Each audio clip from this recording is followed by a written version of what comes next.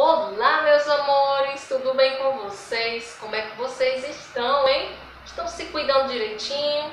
Estão realizando as nossas atividades propostas das nossas aulas?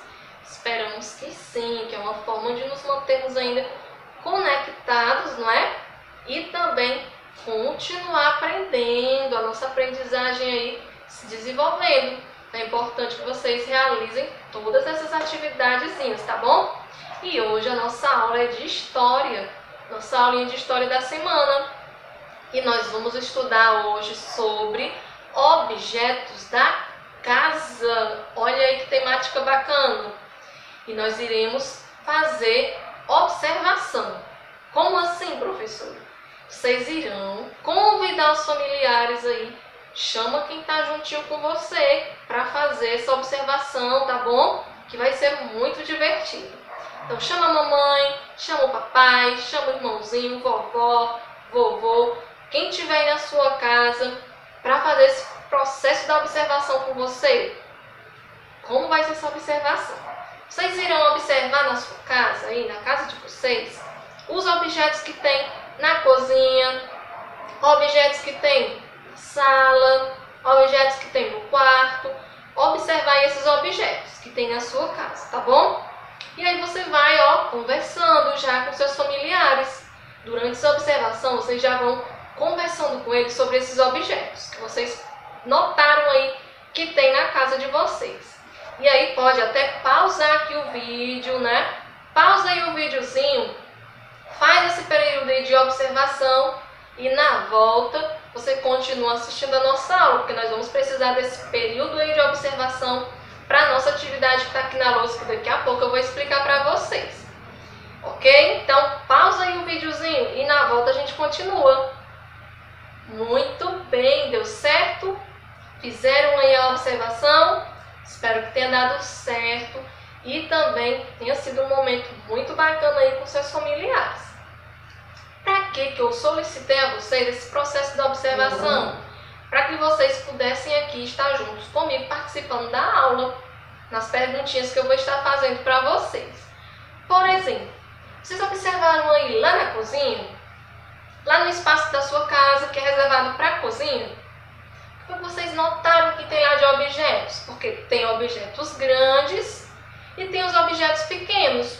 Quais são esses objetos grandes? Os objetos grandes são os móveis da casa. E esses móveis são quais? Quais são esses? A geladeira, o sofá, cama, é, armário, mesa, vários outros objetos. São os móveis, os objetos grandes. E nós também temos os objetos pequenos. Quais são esses objetos pequenos?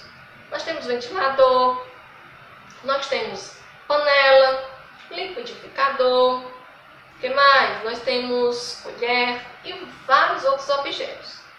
Então, lá na cozinha, quais foram os objetos grandes e pequenos que vocês observaram? Me digam aí. Isso mesmo, né, gente? Lá na cozinha fica o fogão, fica a geladeira, fica a mesa, cadeira, colheres, o prato, né, onde a gente refeições, utiliza para fazer as refeições, não é? Isso mesmo, e vários outros que vocês foram aí citando. Parabéns! E lá no quarto, quais são os objetos móveis, né? Objetos grandes e pequenos que vocês notaram que tem lá?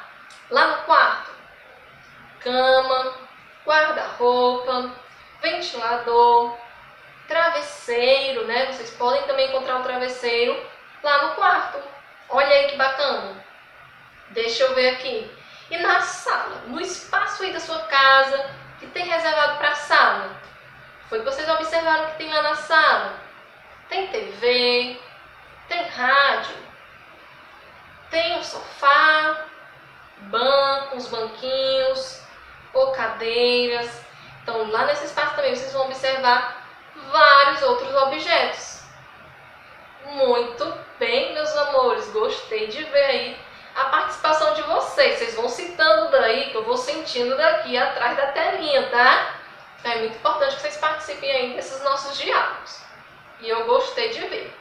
Então, meus amores, a partir dessa observação, nós vamos ter a nossa atividade. Que a atividade vocês irão registrar no caderno de artes. Olha aí que coisa bacana, vocês adoram o caderno de artes, né?